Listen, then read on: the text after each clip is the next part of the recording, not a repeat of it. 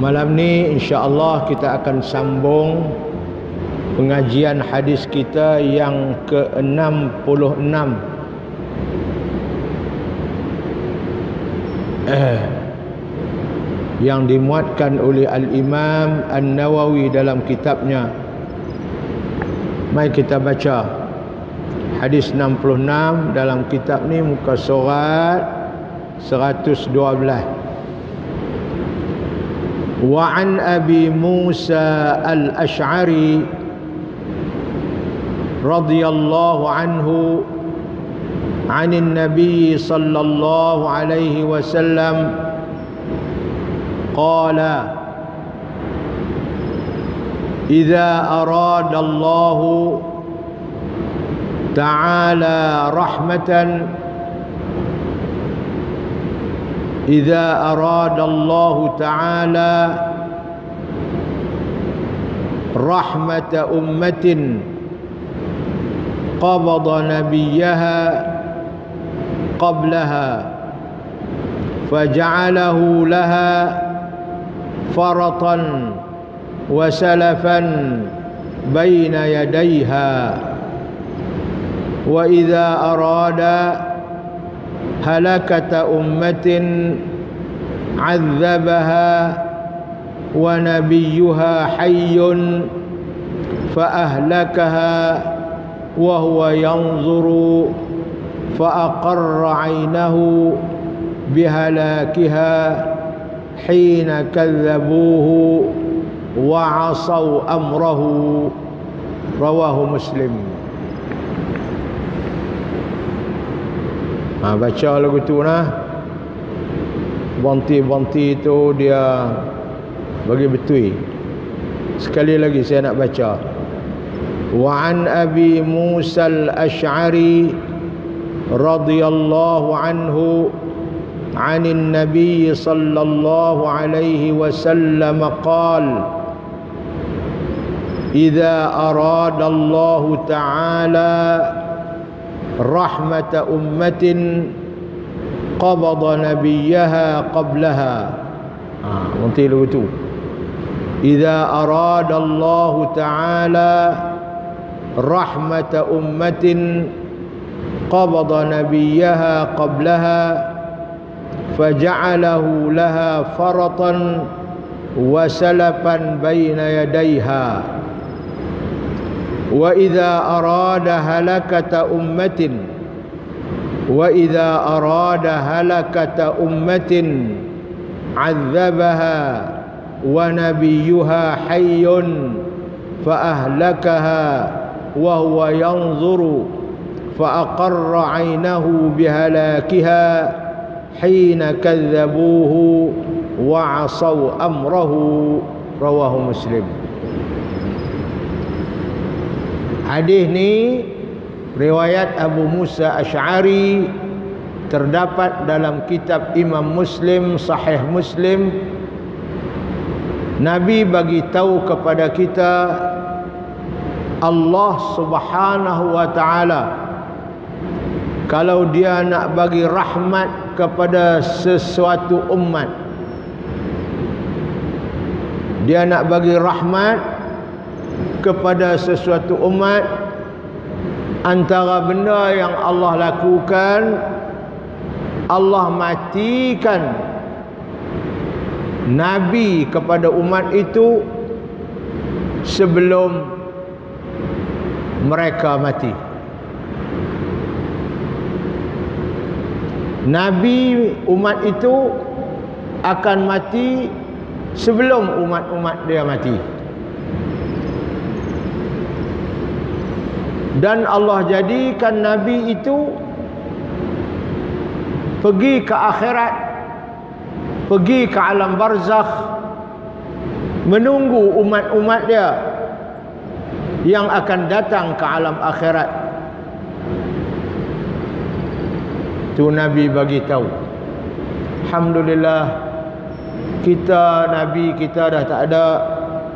Para sahabat-sahabat Nabi pun kehilangan Rasulullah sallallahu alaihi wasallam ha, itu tanda yang Allah, Allah akan bagi rahmat kepada kita Nabi pergi dulu ke akhirat untuk menunggu kita di sana. Disebut di sini sebagai faratan wa salafan. Faratan ini tuan-tuan dalam bahasa Arab apabila seseorang itu nak pergi mengambil air di sesuatu tempat ni cerita padang pasir yang Arab ni.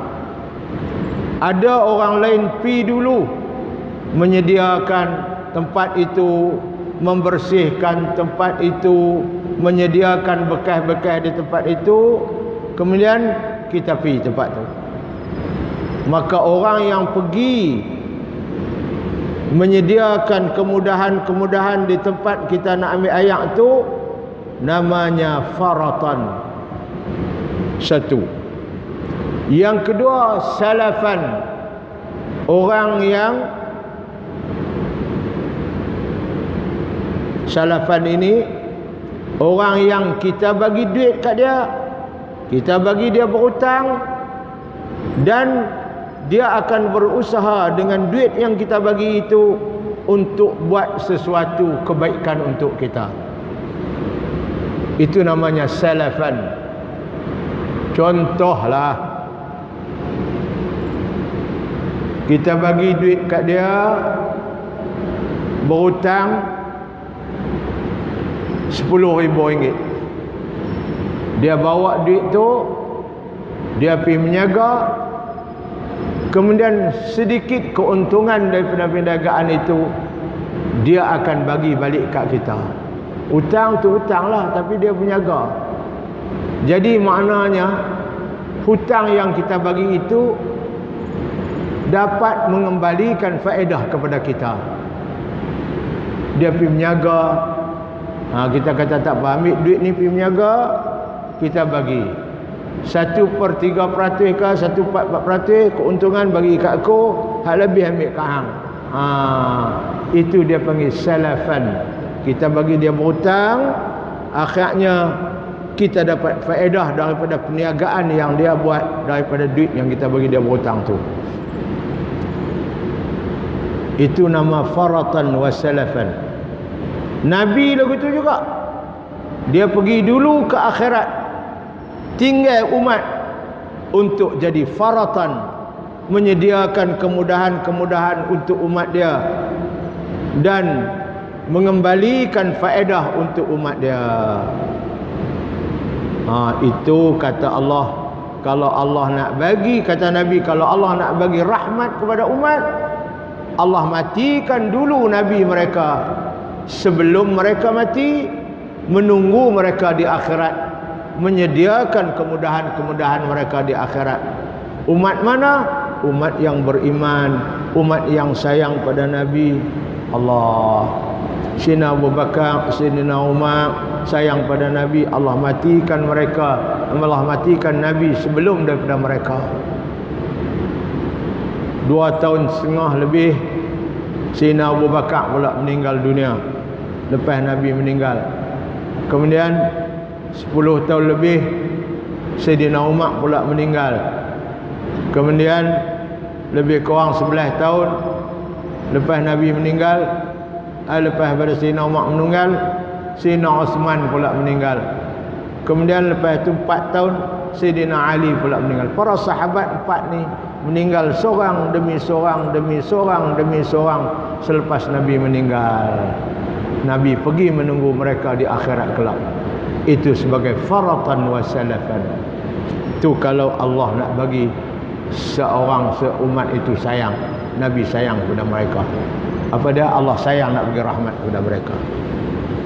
Tetapi kalau Allah tak sayang kepada satu umat Allah nak musnahkan umat tu Allah akan azab umat tu Nabi mereka duduk hidup sama Nabi mereka boleh tengok bagaimana Allah azab umat dia.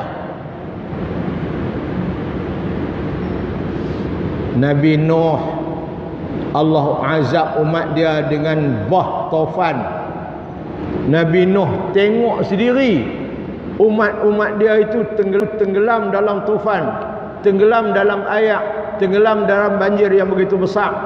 Seluruh dunia banjir. Sampai anak dia kediri pun Nabi Nuh Allah Nabi Nuh minta mai naik perahu dengan ayah ni. Irkam ma'ana wa la takum ma'al kafirin. Hi anak ya bunayya mai naik dengan ayah mai. Jangan duduk dengan puak-puak kafir tu. Qala sa'awi ila jabalin ya'simuni minal ma' saya nak naik kerabat bukit yang boleh terlepas saya daripada banjir. Nabi Nuh kata qala la asimal yawma min amrillahi anakku hari ini tak ada siapa pun akan terlepas daripada azab Allah. Akhirnya anak dia tenggelam sebab anak tak mau ikut ayah tak mau beriman dengan Nabi Nuh. Jadi kemusnahan azab yang Allah timpa kepada umat tu berlaku depan Nabi. Sebab Nabi hidup, hidup lagi dia dapat tengok itu kalau Allah nak musnahkan satu umat tak sayang pada umat tu. Nabi Musa dia tengok umat yang tak percaya kepada dia umat-umat dia ikut Firaun tenggelam dalam laut. Wa fi Musa id arsalna ila Firaun bi sultanin mubin fatawalla bi ruknihi wa qala sahirun aw majnun fa akhadnahu wa junudahu fanabadnahu fil yammi wa huwa mulim. Allah tenggelamkan depan mata Musa mereka dalam laut. Umat Nabi Allah Hud Ad Allah musnahkan mereka dengan apa dia angin selama seminggu bertiup begitu sejuk mati habis. Depan Nabi Allah Hud. Nabi Allah Hud tak kena tengok umat Nabi Allah Saleh Samud pun Allah musnahkan mereka dengan petir yang begitu deras sampai mati habis. Jadi kata Nabi kalau Allah nak musnahkan tak sayang kepada umat Allah akan hidupkan Nabi mereka ketika Allah mengazabkan umat tu dan Nabi mereka dapat melihat dengan mata kepalanya sendiri bagaimana apa dia musnahnya umat yang tak percaya kat dia yang tidak beriman kepada dia. Ha, itu dia. Ini hadis makna dia. Jadi kalau Allah sayang nak bagi rahmat Allah bagi mati Nabi dulu. Dia pergi tunggu umat dia di akhirat. Dia terdoa kepada umatnya di akhirat. Tapi kalau Allah nak musnah umat kata Nabi Allah tak bagi mati lagi Nabi berapa? Dan Allah akan ya apa dia? Uh, bagi azab pada mereka dan Nabi mereka dapat tengok dengan mata kepala dia sendiri bagaimana azab yang Allah timpakan umat itu.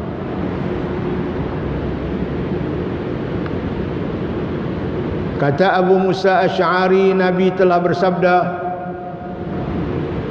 Idza aradallahu ta'ala rahmata ummatin. Apabila Allah berkehendak merahmatkan sesuatu umat. Memberi rahmat kasih sayang dia kepada rahmat. Apa Allah buat? Qabada nabiyaha qablaha. Allah matikan Nabi umat tu sebelum daripada mereka. Mereka tak mati lagi, Nabi mereka mati dulu. Faja'alahu. Dan Allah jadikan Nabi itu apabila dia mati faratan wa salafan mendahului umat itu ke akhirat menjediakan rahmat kepada mereka di sana. Itu makna faratan wa salafan tu nabi itu pergi dulu ke akhirat menyediakan rahmat Allah kasih sayang Allah kepada mereka di sana di akhirat kelak. Seolah-olah nabi pergi menunggu kedatangan kita di akhirat kelak umat mana umat yang beriman?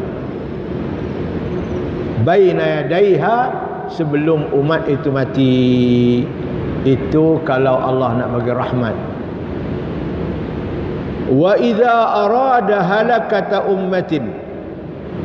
Dan apabila Allah nak membinasakan memusnahkan satu umat apa Allah buat? Azabaha wa nabiyuha hayyun Allah azab. Allah azabkan umat umat itu. Allah timpakan azab kepada umat itu dalam keadaan nabi umat itu masih hidup. Wa nabiyyuha hayyun. Dalam keadaan nabi dia masih hidup. Fa ahlakaha. Allah musnahkan umat tu. Wa huwa yanzuru.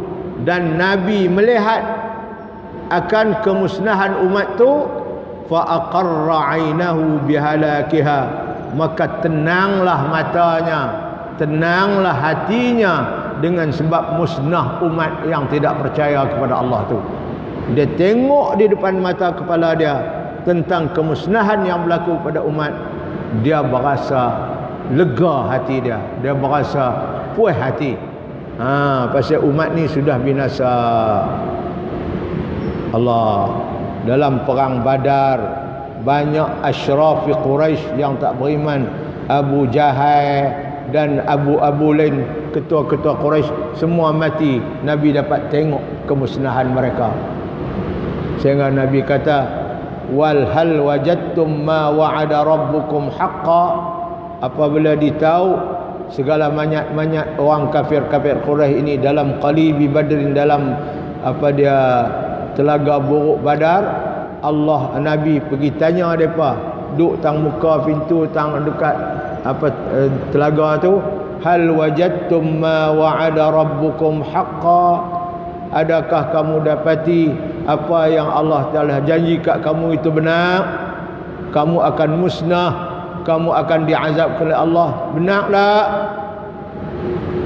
Waqad wajadna ma wa'ada rabbuna haqqan kami kata nabi kami sudah dapati apa yang dijanjikan oleh Tuhan kami adalah benar iaitu dijanji kepada kami bagi kemenangan pada hari ini Allah janji kepada kamu nak bagi kamu musnah hari ini adalah benar. Allah janji kepada kami untuk nak bagi kemenangan adalah benar. Sayyidina Umar tanya, "Ya Rasulullah, duk cakap apa dengan orang yang mati tu yang duduk dalam dalam telaga tu takkan depa dengar?" Nabi kata, "Depa dengar lebih pada hang Umar." Ha. Jadi musnahnya Abu Jahal dan banyak jadi ketua-ketua Quraisy yang tak beriman tu di depan mata Nabi. Ha itu kata dia kalau Allah nak musnahkan, nak membinasakan satu umat, Allah azabkan umat itu di depan mata Nabi mereka. Nabi masih hidup, Nabi boleh tengok dan Nabi berasa tenang dengan kemusnahan itu bihalakiha dengan musnahnya umat yang yang apa dia tak percaya kepada Allah. Hina kadzabu ketika mereka mendustainya nabi wa asau amrahu dan mereka melanggar segala perintah nabi Allah musnahkan depan nabi nabi boleh tengok dengan mata kepala dia sendiri.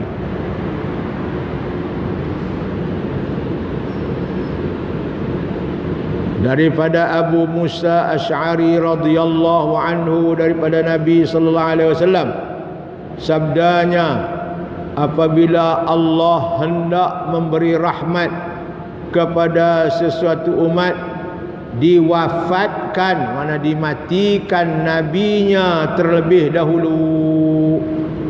Allah. Nabi dan duduk di Madinah 10 tahun saja.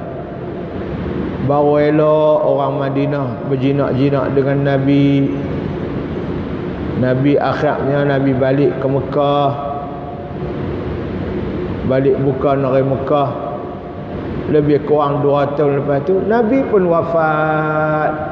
Tak dan umat nak bermanja-manja dengan Nabi. Sebab Allah sayang kepada umat tu.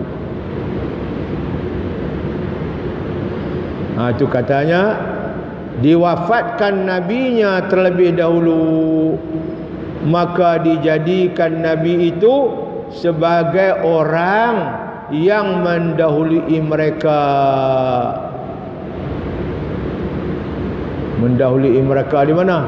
Di akhirat no nabi pi dulu. Untuk apa? Untuk menyediakan segala rahmat Allah di sana untuk umat dia. Ya salam. Itu nafaratan wa salafan. Sebab itu di antara doa yang Nabi ajak kita ha? Apabila seseorang itu kematian anak kecil anak kecil umur 2 tahun baru mati ya mati dah ha. ataupun beranak-beranak mati. Maka di antara doa yang Nabi ajak kita baca apa dia? Allahumma ij'alhu faratan wa salafan li abawayhi.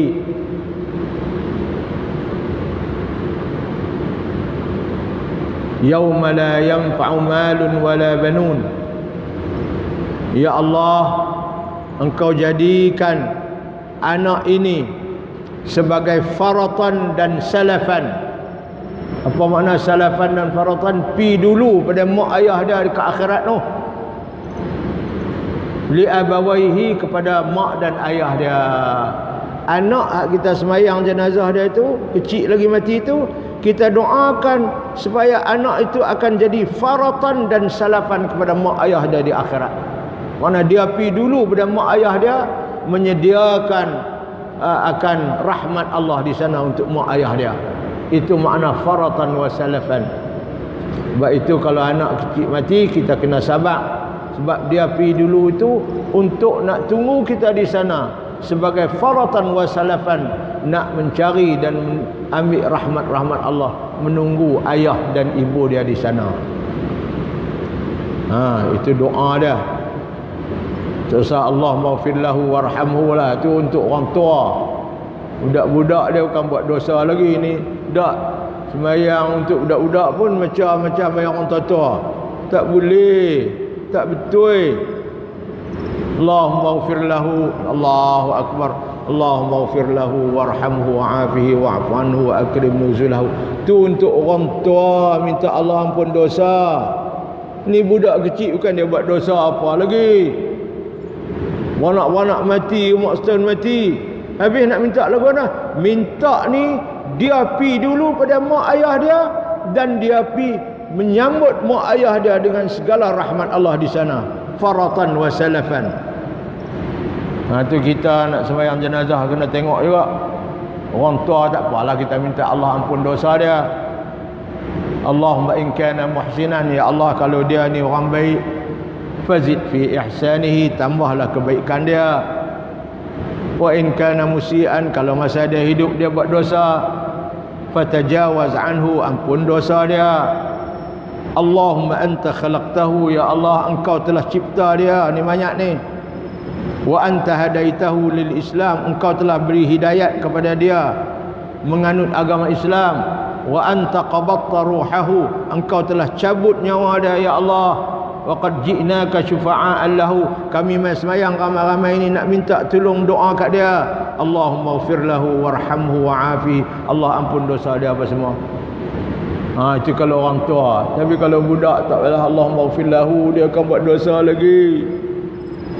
Kita minta budak tu pi tunggu mak ayah di akhirat menyediakan benar-benar yang boleh mendapat rahmat Allah di akhirat sebagai faratan wa salafan li abawai. Allahumma ij'alhu faratan wa salafan li abawaihi yaumal qiyamah. Allah engkau jadikan anak ini sebagai faratan dan salafan. Orang yang pergi dulu menyediakan kemudahan kepada mak dan ayah dia di akhirat kelak. Itu makna faratan wa salafan. Nabi pi dulu ke akhirat tinggal umat. Untuk jadi apa? Untuk jadi faratan wa salafan kepada umat di sana.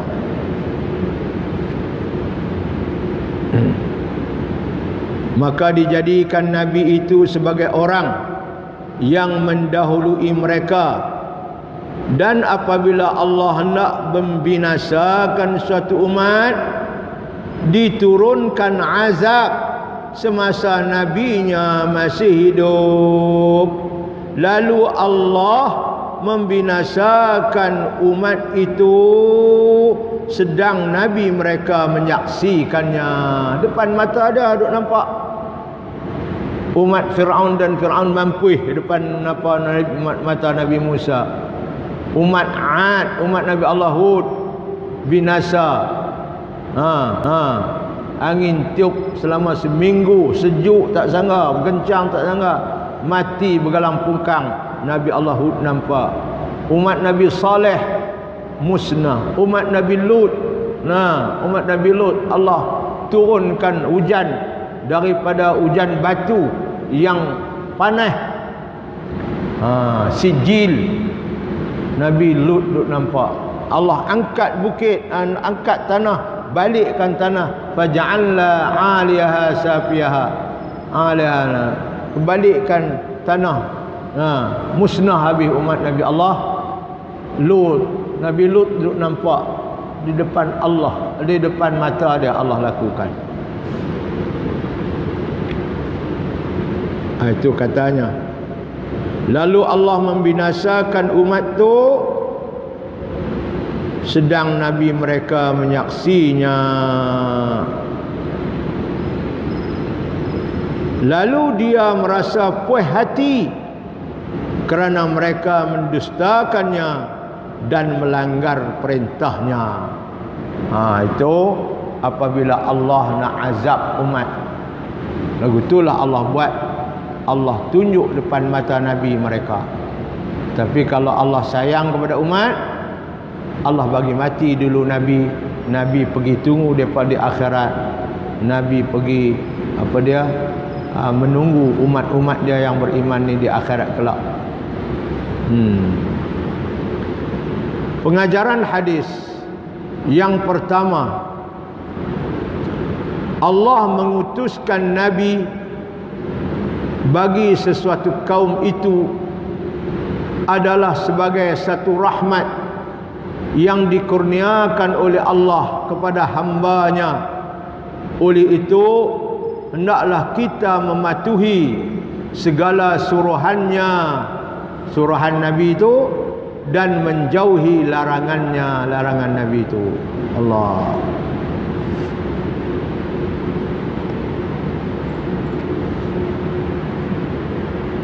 saya cerita dah dulu ada seorang kafir antara ketua-ketua orang Quraisy.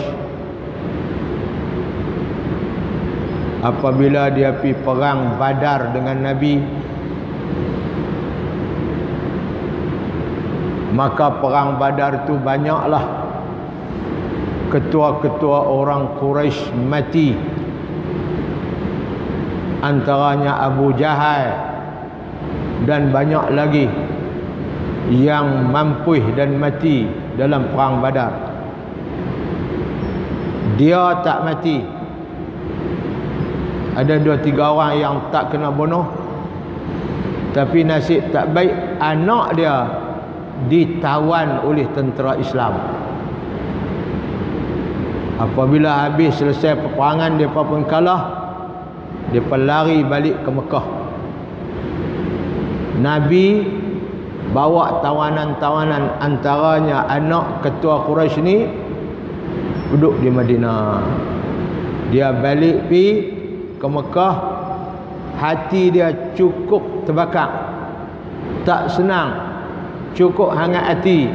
Pasal apa? Ramai ketua-ketua depa yang kena bunuh.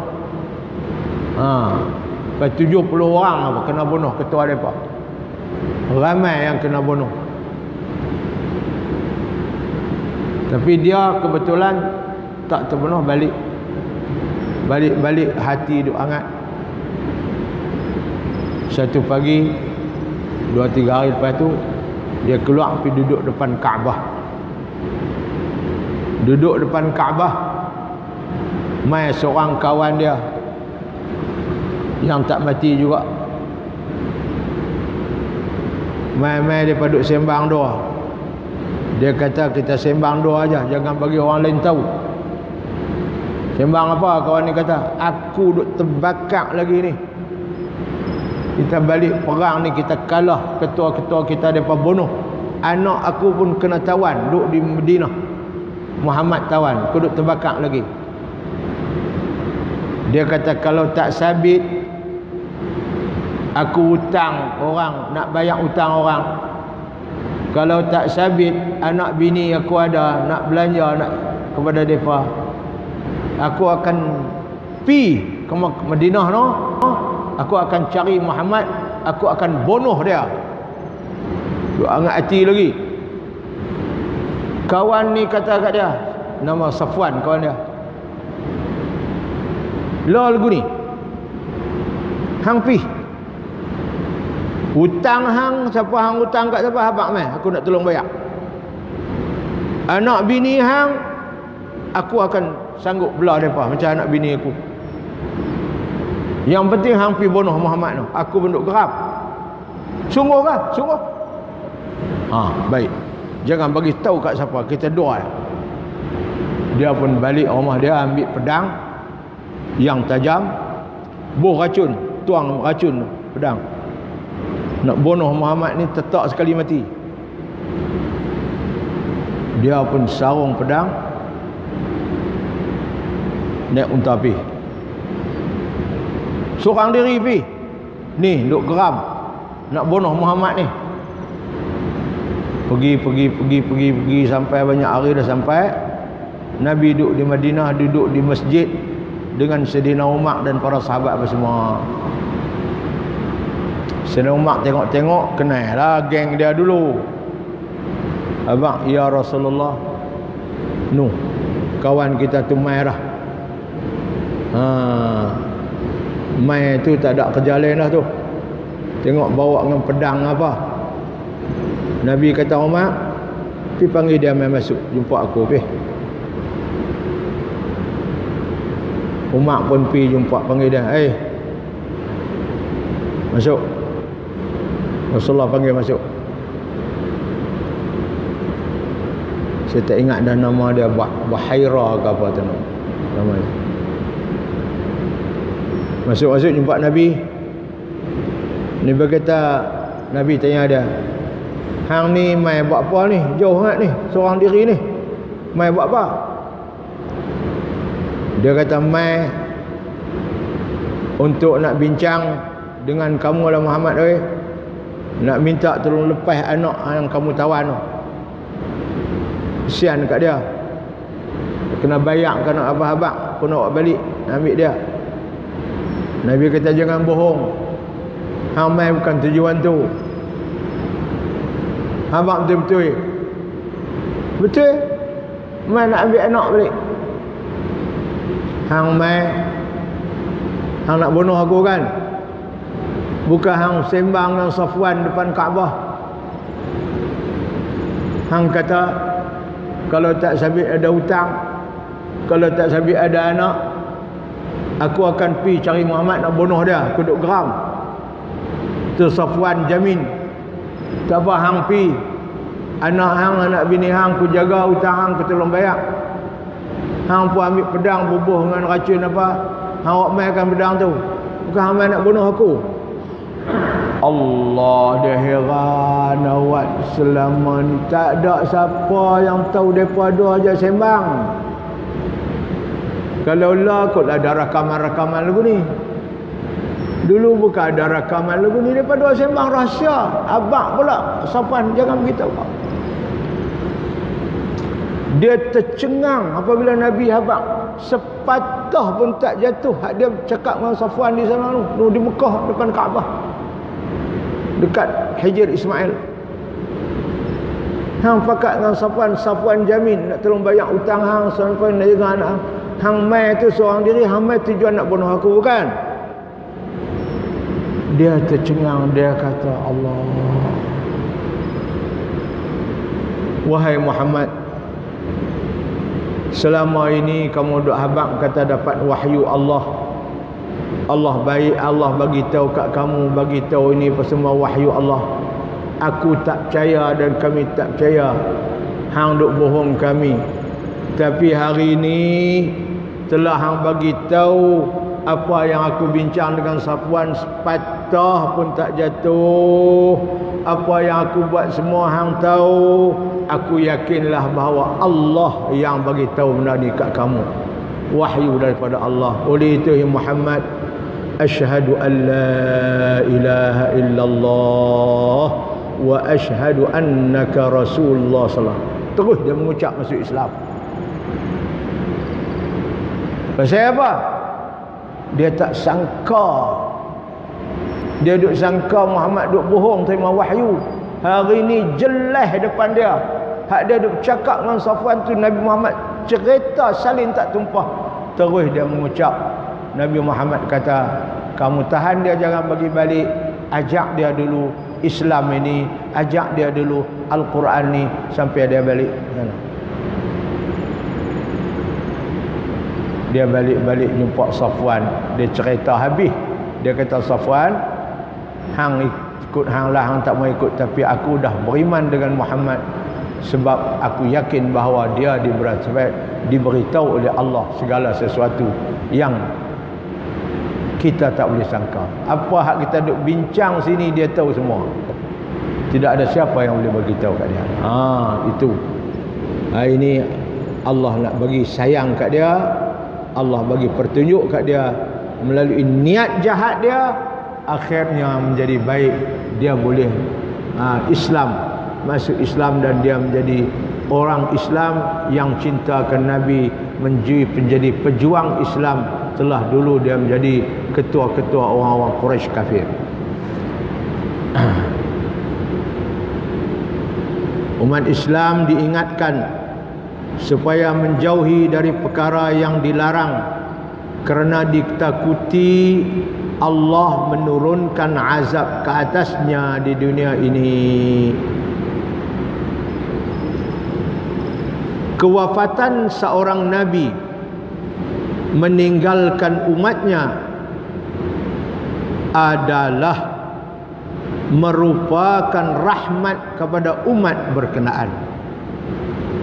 Jika umat itu berpegang dengan ajaran nabinya dan mempertahankan agamanya. Ha sebab itu di padang Arafah ketika Nabi buat hajah wida Nabi buat ucapan yang terakhir nah kepada umat dia. Antara yang nabi kata kepada umatnya baca al-yawma akmaltu lakum dinakum ayat Quran turun. Wa atmamtu alaikum ni'mati wa raditu lakum al-islam madina dan di antara ucapan nabi di ketika di padang Arafah ketika nabi buat haji wida haji selamat tinggal wahai umat. Nabi kata fawalladhi nafsu muhammadin biyadih. Ingat wahai umatku demi Allah yang jiwaku di tangannya ma da' ba'dal maut min darin illa al jannatu aw nar. Tidak ada tempat selepas kita mati akan kita duduk di akhirat kelak kecuali dua saja. Kamu pilih jannah syurga awin nar apa neraka. Dua ni saja tempat yang kita akan duduk selepas kita mati kita bangun di padang mahsyar. Tempat untuk kita tinggal wahai umatku. Dua saja ingat ni. Aku mungkin lepas ni tak jumpa kamu dah. Ingat? Tidak. Syurga ataupun neraka. Ha. ini ucapan terakhir Nabi. Yang Nabi uh, buat kepada umatnya di padang Arafah ketika haji wida' Allah.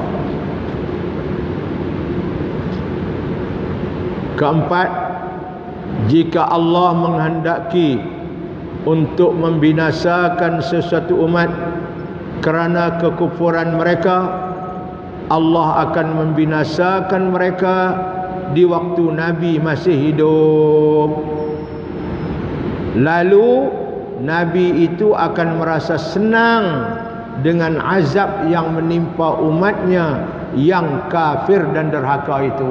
Bahasa lega. Nabi Nuh bahasa lega. Umat dia tenggelam mampu habis. Ha, Nabi Musa bahasa lega. Fir'aun mati. Nabi Musa bahasa lega. Ha, Karun mampu depan dia. Allah suruh bumi isak masuk dalam bumi oh. Ha, dengan unta dengan kuda-kuda dia isap nyak-nyak-nyak masuk dalam bumi sekali dengan gudang-gudang segala harta dia semua masuk dalam bumi. Ha, depan Nabi Musa lah. Ha. nah, Nabi-Nabi lain pun Allah musnah umat depan mata mereka untuk mereka merasa uh, senang dengan azab yang menimpa umatnya yang kafir dan derhaka itu. itu. Uh, begitulah tuan-tuan, kita Nabi sudah tidak ada bersama kita. Dia sudah pergi menghadap Allah 1440 tahun lebih dah dia menghadap Allah tapi kita tetap sayangkan dia kita tetap apa membaca hadis-hadis dia kita tetap mempelajari ajaran dia. Kita tetap beramal dengan ajaran dia. Kita tetap apa dia meninggal segala larangannya sekadar yang kita mampu. Dan itulah tanda yang Allah sayangkan kita. Dan Nabi pergi dulu ke akhirat menunggu kita di sana dengan kemudahan-kemudahan dan dengan rahmat Allah Subhanahu wa taala. Jadi tuan-tuan dan puan-puan kita berhenti tentulah masuk waktu Aisyah dah. Dan insya-Allah kita akan baca bab baru pula. Bila tak tahulah lepas ni kita tengok pula insya-Allah hadis-hadis yang baru. Hari ini kita sempat baca satu hadis saja menandakan bahawa apa yang dilakukan oleh Allah kewafatan Nabi dahulu pada umat menanda Allah sayang. Dan apabila Allah azabkan umat dalam keadaan Nabi mereka masih hidup menandakan Allah tidak suka kepada umat ni dan Allah nak mengazab binasakan umat ni Allahu Akbar Bismillahirrahmanirrahim اللهم انفعنا بما علمتنا وعلمنا ما ينفعنا وارزقنا علما ينفعنا وزدنا علما الحمد لله على كل حال ونعوذ بك من حال أهل النار اللهم إنا نعوذ بك من علم لا ينفع ومن قلب لا يخشع ومن عمل لا يرفع ومن دعاء لا يسمع. نعوذ بك من هؤلاء الأربع. وصلى الله على سيدنا محمد وعلى آله وصحبه أجمعين. والحمد لله رب العالمين. تقبل الله منكم. السلام عليكم ورحمة الله وبركاته.